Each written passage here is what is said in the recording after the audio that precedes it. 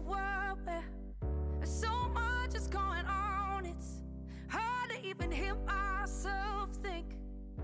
Hola, it's Avi and welcome back to my channel. Today, I wanted to do a Bible study with me, but I kind of wanted to do something different. I've not, I don't think I've ever done a Bible study with me, like a particular like chapter of the Bible. And this is not a particular chapter of the Bible. We're gonna actually go over a few women in the Bible who prayed for babies. So I thought this would be a good series to do, a Who Prayed for a Baby in the Bible series.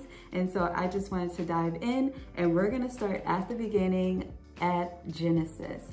I'll put all of the scriptures that I refer to in the description below, but we're gonna start at Genesis, the 11th chapter. So open your Bibles. This is going to be a study on Abraham and Sarah, mainly Sarah though. So if we go to Genesis, the 11th chapter, the 30th verse, this is where the Bible first mentions that Sarah is barren, okay? So, but Sarai was unable to become pregnant and had no children. Before Abraham, um, name was changed, Abraham and Sarah's name were changed, they were Abram and Sarai. And so if we, that's the first mention. And I wanna note, before it was mentioned that she didn't have any children, in the Bible, it just lists all these, like it lists the family lineage of people who were having children. And I just found that ironic. But moving on to the 16th chapter. So jump to this, or yep, jump to Genesis 16.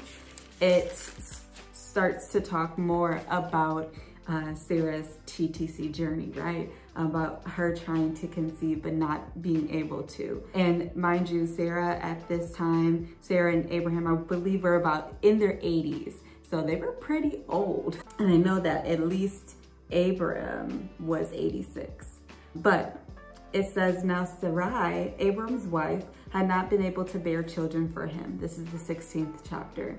But she had an Egyptian servant named Hagar. So Sarah, Sarai said to Abram, the Lord has prevented me from having children.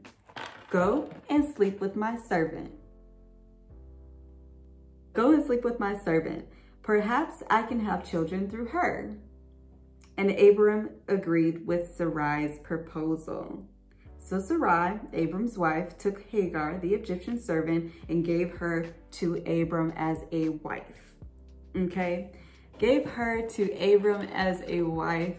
Here, take my husband. Go have my children.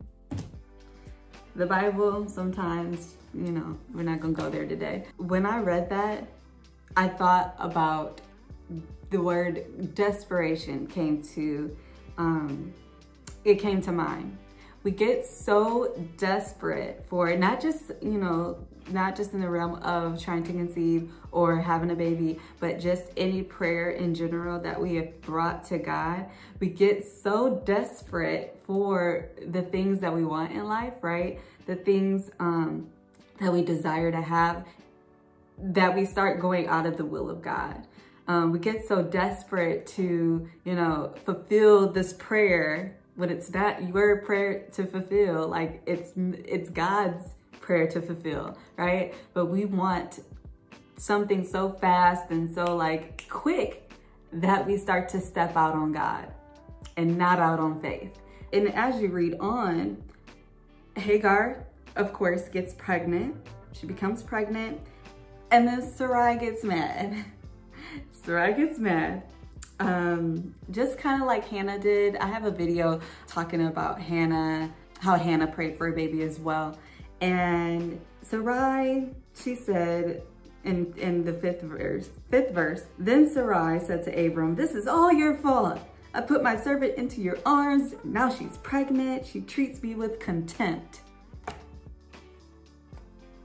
The Lord will show you who's wrong, you or me.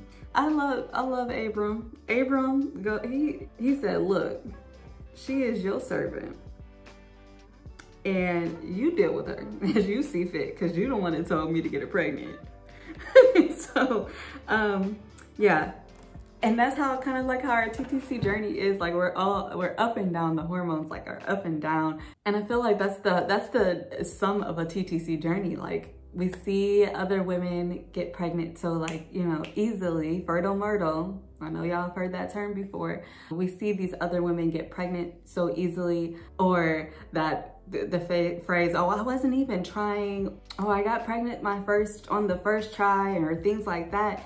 And for the woman who has been trying to conceive for a very long time, that can bring out those emotions, right? Bring out sadness, bring out grief, bring out uh, depression. I just want to encourage you today with this video, with this scripture, with these scriptures. You can, you know, study these scriptures and kind of get a feel for how, what Sarah, what Sarai turned Sarah was going through, right?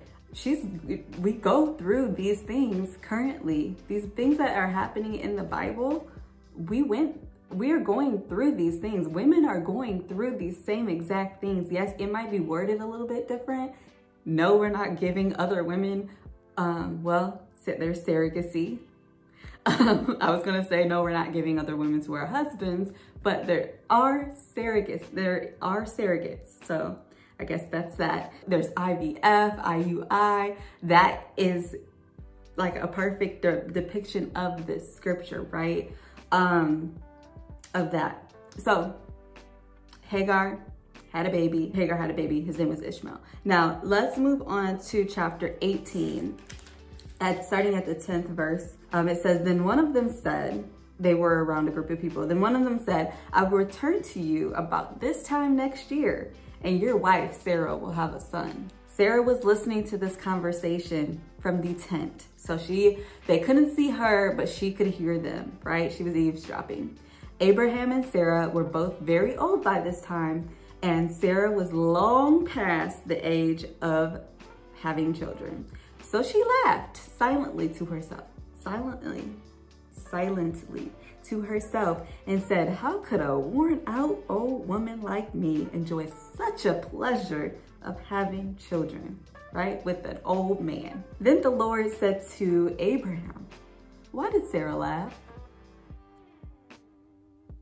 Why did she say, can an old woman like me have a baby? Is anything too hard for the Lord? Whew.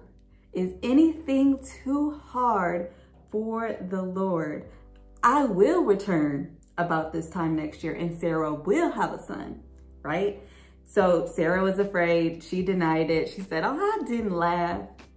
Girl, you did. That's what the Lord said. Girl, you did. You did laugh. And just to compare that to today's time, is anything too hard for the Lord? No, nothing is too hard for our God.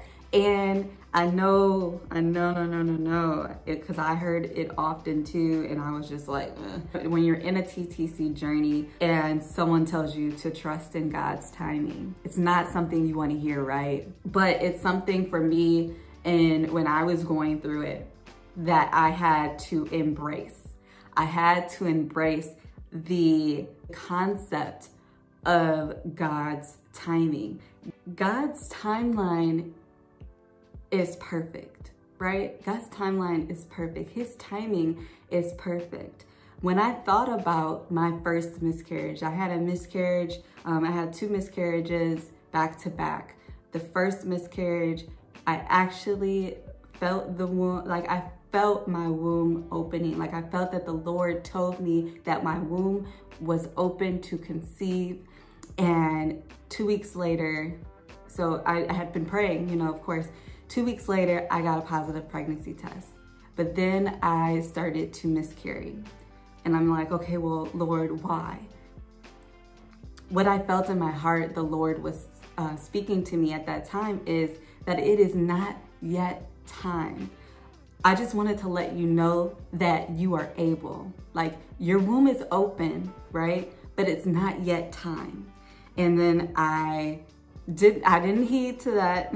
I just started, you know, I was still trying to conceive, trying to do all the things. I conceived a second time right after that miscarriage. Didn't even have a period. I conceived right after the miscarriage and um, I had a blighted ovum, a blighted ovum miscarriage. And that lasted 40 plus days. And after that, I was like, okay, Lord, your will and not my will, because his timing is perfect. And I read in one of my devotions, I'm currently reading 100 Days uh, to Believing Brig of Believing Brig, Brig 100 Days of Believing Bigger devotional journal. And in my devotional, it said, You may be good, but God is great, right? God has a higher, a wider, and more eternal view, right? What you're looking at right now, and sorry, I'm filming on my phone, so I keep looking at the, but anyways, what you're looking at right now, your TTC journey, you have tunnel vision, right? You have tunnel vision. Think of like an underground tunnel. That is you right now in your TTC journey. You have tunnel vision.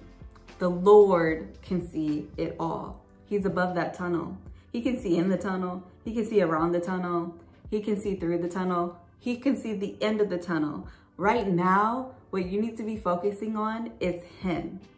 21st chapter of Genesis. We're still in Genesis. Genesis 21 says that the Lord kept his word and did for Sarah exactly what he had promised.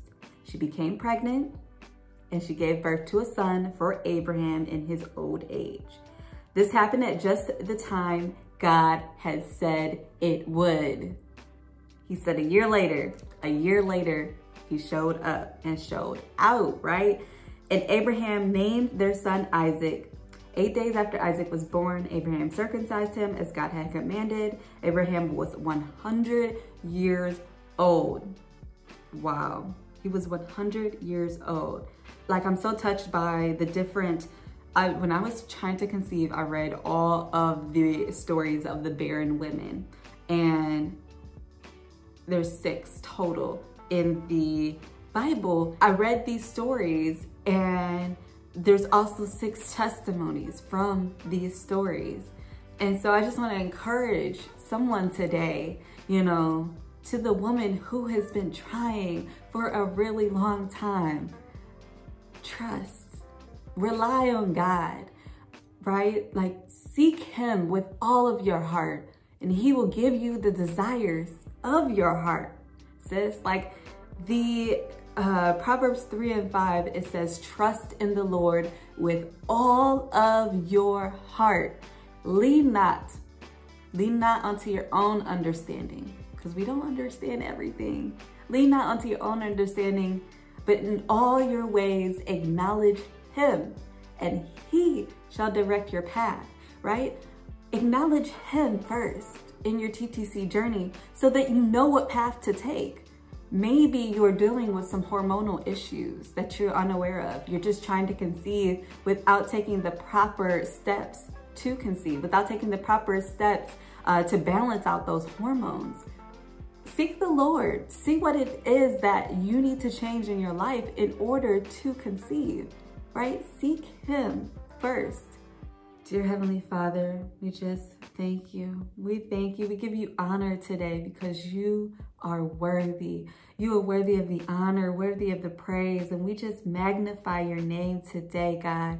We thank you, Lord, for this time, for this season, for this moment right now, Lord. We thank you, Lord, for this woman who has clicked on this video, this wife who is trying to conceive, God. We just thank you, Lord, that you are a healer, God. You can heal any womb, open any womb, Lord. We know, God, that sometimes it takes a minute to get pregnant. But Lord, we are seeking you, God. We want, Lord, these women to seek you, Lord. Seek you with all of their hearts, Lord, and lean not onto their own understanding, God. We just we just pray, God, that you will open up minds, open up wombs, Lord.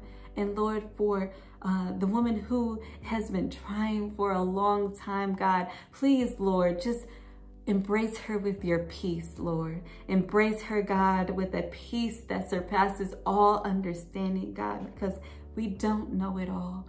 But you, God, you know it all. You can see above and beyond what we can see, God. But we know, Lord, that your word says that you will bless, that you will bless above what we expect, God, exceedingly above exceedingly and abundantly above all we can ask or think, Lord, as long as we seek you, as long as our hearts are turned to you. And we just thank you for that, Lord. We thank you for the promises that you have over these women who have clicked on this video, God. And for those women who are not trying to conceive, God, we just ask, Lord, that you bless them in the ways that they are praying, God, the prayers that they are seeking you for, God, that you bless them in Jesus' name. Amen. Make sure if you did like this video to hit the thumbs up. It really helps my channel, really helps my channel get out to more women who may be trying to conceive um, and need a prayer over, the over their lives. And also subscribe if you haven't subscribed yet. And I will look forward to seeing you in the next video.